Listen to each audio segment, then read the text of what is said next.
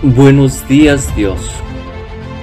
Reflexión del Evangelio del Día por Monseñor Luis José Rueda Aparicio, Arzobispo de Bogotá y Primado de Colombia.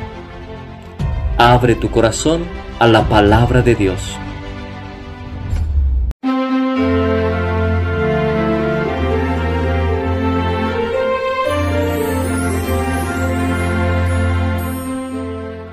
En el nombre del Padre, y del Hijo, y del Espíritu Santo. Amén. Salmo 84. Voy a escuchar lo que dice el Señor. Dios anuncia la paz a su pueblo y a sus amigos. La salvación está ya cerca de sus fieles, y la gloria habitará en nuestra tierra. La misericordia y la fidelidad se encuentran, la justicia y la paz se besan. La fidelidad brota de la tierra, y la justicia mira desde el cielo. El Señor nos dará la lluvia y nuestra tierra dará su fruto. La justicia marchará ante Él, la salvación seguirá sus pasos. Gloria al Padre y al Hijo y al Espíritu Santo, como era en el principio, ahora y siempre, por los siglos de los siglos. Amén.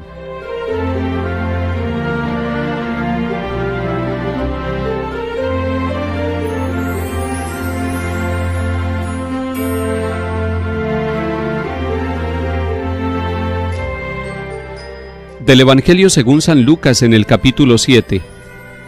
En aquel tiempo, Juan envió a dos de sus discípulos a preguntar al Señor, ¿Eres tú el que ha de venir o tenemos que esperar a otro?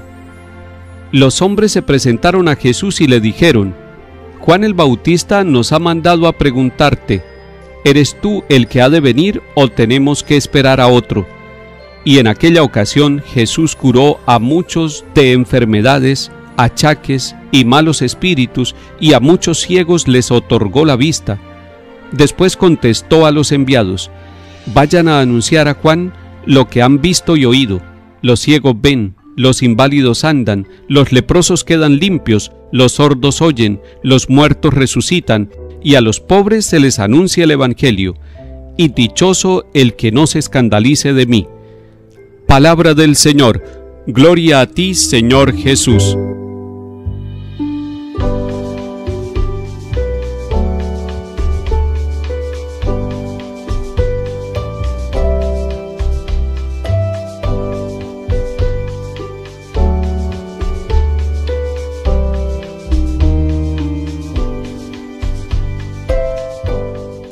Juan le mandó preguntar desde la cárcel a Jesús, ¿eres tú el que ha de venir o tenemos que esperar a otro?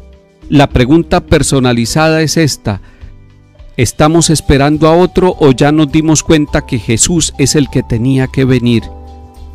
Si estamos esperando a otro, nosotros pensamos en que algún día vendrá desde fuera.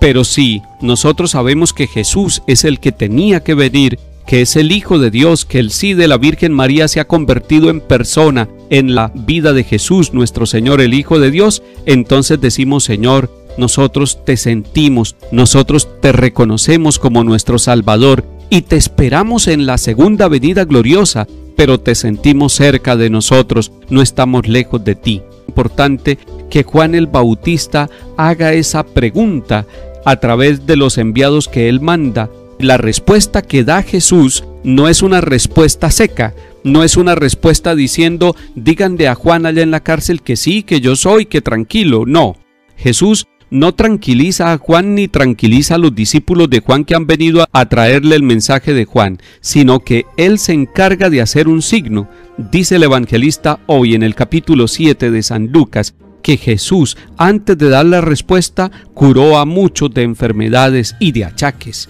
y de malos espíritus, y que le devolvió la vista a los ciegos, y después sí le dijo a los enviados, vayan a anunciar lo que ustedes están viendo y lo que ustedes están oyendo. O sea, Jesús no les dijo, den mi respuesta, sino que den la respuesta de lo que ustedes están observando, sean testigos de esa respuesta. Qué interesante, estos discípulos iban dando una razón y se convirtieron en testigos de lo que Jesús estaba haciendo. Qué bueno que nosotros pasemos de ser razoneros de la fe a ser testigos de la fe.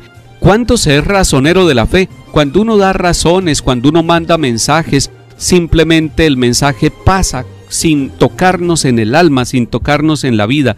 Estos dos enviados de Juan Bautista seguramente ya habían hecho un camino de fe, pero les faltaba un toque, les faltaba llegar a un grado mayor, les faltaba llegar al grado de convertirse en testigos y se convirtieron en testigos porque Jesús les dijo, vayan a anunciar a Juan lo que han visto y oído, es decir, lo que ustedes han constatado con su propia vida. Y ahí es donde nos volvemos cristianos testigos, un papá testigo, una mamá testiga de Jesús, son hombres y mujeres que lo testifican y que lo disfrutan en la Eucaristía, que disfrutan a Jesús en la palabra, que lo disfrutan en el trabajo y en la vida familiar y en el descanso y en todos los momentos, y por eso van a anunciar en todos los lugares, con su comportamiento y con su palabra, lo que han visto y lo que han oído.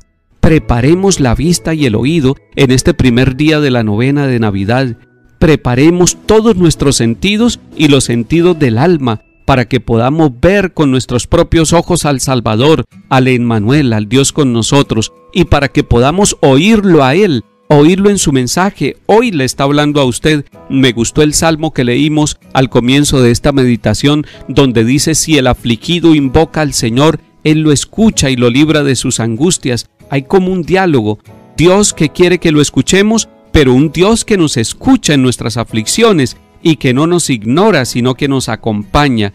Y además Jesús le dice a los dos enviados de Juan el Bautista, estos signos de enfermos curados son un signo de que yo soy, de que no tienen que esperar a otro, de que el reino de los cielos se nos metió en la vida, se nos metió en el corazón la presencia del Emmanuel, que ya no tenemos que invocar a un Dios lejano de nosotros, sino a un Dios cercano que se fatiga, que se alegra, que lucha, que acompaña nuestra vida, que está con nosotros en todos los momentos. Y dice además Jesús, díganle a Juan allá en la cárcel que el Evangelio se anuncia a los pobres. Ese es un signo de la presencia de Jesús, que el Evangelio sea anunciado a los pobres. Hemos dicho en muchas ocasiones, y usted y yo lo sabemos, la palabra Evangelio significa buena noticia. ¿Cuál es la buena noticia que necesitan los pobres hoy? Esos pobres que viven cerca a usted, esos pobres que viven cerca a cada uno de nosotros y que son incluso de nuestra familia. ¿Cuál es la buena noticia que debemos llevarle? Ciertamente, el anuncio de que Dios es nuestro tesoro y que Él vive con nosotros y que no estamos abandonados. Pero ciertamente también es el Evangelio de la caridad, el Evangelio de la misericordia, el Evangelio de la solidaridad y del compartir.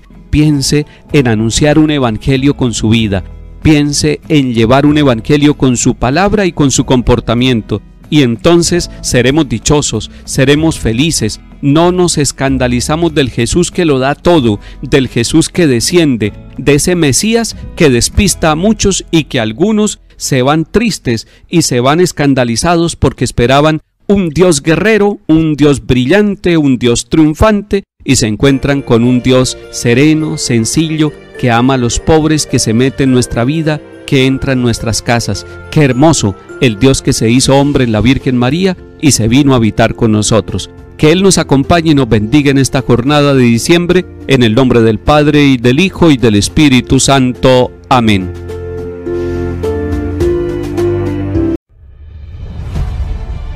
Buenos días Dios. Reflexión del Evangelio del Día por Monseñor Luis José Rueda Aparicio, arzobispo de Bogotá y primado de Colombia. Abre tu corazón a la palabra de Dios.